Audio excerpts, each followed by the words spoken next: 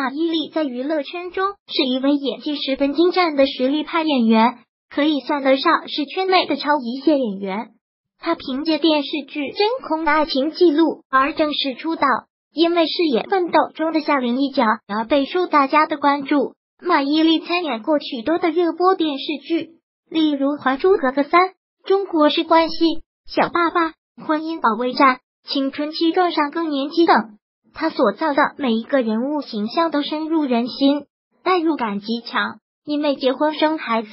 马伊琍在影视圈曾沉寂了一段时间。复出后的她虽然名气有所下降，但是实力却依然强悍。她凭借《北方广不相信眼泪》等多部热播剧迅速当红，尤其是她和靳东主演的《我的前半生》更是火到不行。该剧好评如潮。累计播放量达到了一百六十八点一亿，深受观众们的喜爱。马伊琍饰演的全职太太罗子君，与靳东饰演的商业精英贺涵，给观众们带来了一场不同于以往的都市情感电视剧，精彩绝伦，引人入胜。继《我的前半生》后，马伊琍又一部新作《进京城》即将来袭。这是一部古装历史电影，该部电影主要讲述了一汪论生。月九为代表的一众艺人及李风格格等为代表的戏迷发生在李园的恩怨和情感纠葛。马伊琍在该部影片中饰演的是女主风格格。该剧的男主月九将由傅大龙饰演。傅大龙是一位十分低调的影帝，他曾主演过《天狗》《少年彭德怀》《大秦帝》《国之纵横》等多部经典影视剧，演技十分了得，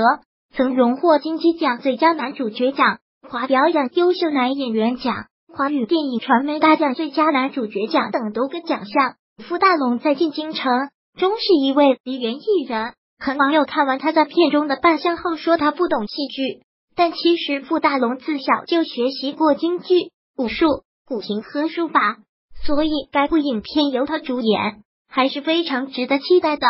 该部影片除了有马伊琍和傅大龙两位大咖级别的主演外，还有王子文、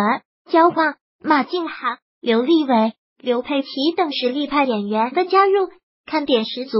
进京城以弘扬中华优秀传统文化京剧艺术为宗旨，以京剧发展史上著名的徽版进京事件为创作背景。该片还未播出就获得了最佳传媒关注导演奖、最佳传媒关注编剧奖、最佳传媒关注男主角奖、